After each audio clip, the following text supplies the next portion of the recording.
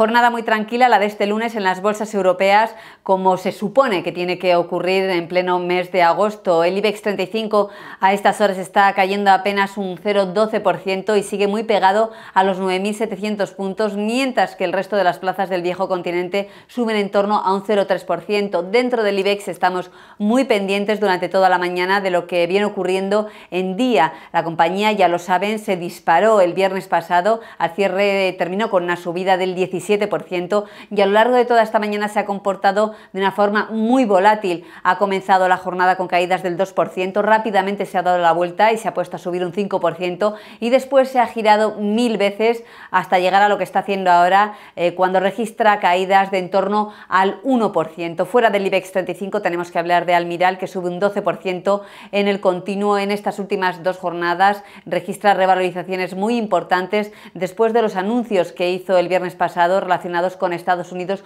donde la compañía va mejorando su situación después de que tuviera que anunciar un profit warning precisamente por eh, la mala evolución de Estados Unidos. Fuera de España destacamos a HSBC que está cayendo ahora en torno a un 2% tras presentar unos resultados que aunque, aunque han superado eh, las expectativas en beneficio antes de impuestos, es verdad, dicen los analistas, que ha registrado el peor resultado en la división de trading de todos los bancos eh, europeos que han ido publicando hasta ahora sus resultados. Como saben, HSBC es el mayor de todos los bancos del viejo continente. Por lo demás, los futuros de Estados Unidos ahora mismo suben levemente en torno a un 0,2%. Los expertos señalan que las tensiones comerciales entre Estados Unidos y China siguen siendo ahora el asunto más importante, especialmente después de que el viernes China anunciara aranceles por valor de 60.000 millones de dólares sobre productos chinos. De momento no hay respuesta de Estados Unidos, de momento calma en este aspecto.